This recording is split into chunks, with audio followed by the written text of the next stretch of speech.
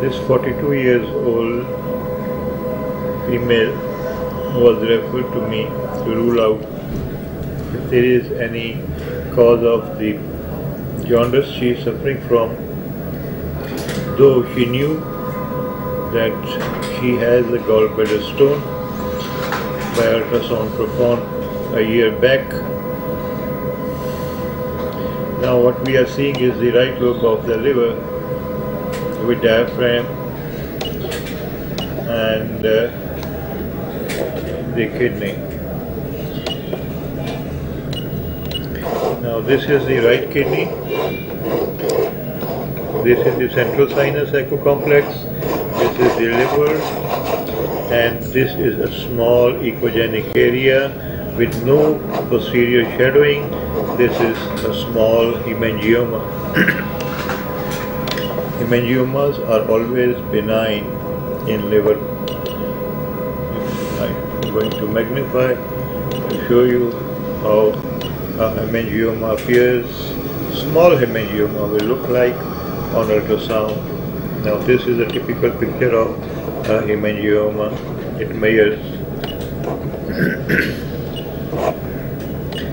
approximately 10.3 millimeter into 9.2 millimeter. It is in the liver. All this area that you are seeing is the liver.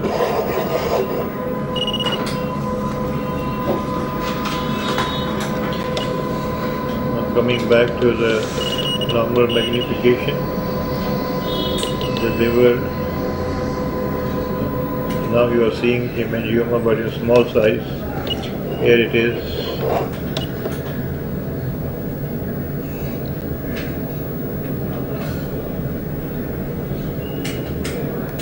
So let's see the gallbladder because she has jaundice and has gives the history that she knew that he had calculus and the gallbladder एक लंबा साल है कि सार रोक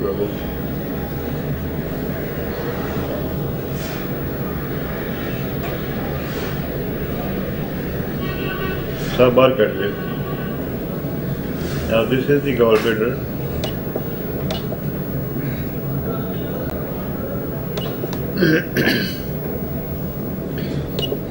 this is the interior wall of the gallbladder.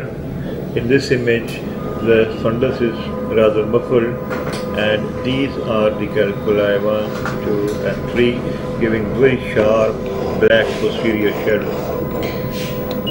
So, this is the gallbladder, and these are the calculi. This is the common bile duct and this is the portal vein. These are the dilated intrahepatic ducts at the proximal level. The outer surface of the liver is smooth, texture is homogeneous, and uh, echogenicity is normal. When we compared with the right kidney, we saw that. Now, the, the appearance is very much suggestive of that uh, of the fact that the CBD is dilated. The reason being that here is a double barrel sign that is that you can see. Double barrel sign is seen in cases of suspected obstructive jaundice, dilated bile ducts.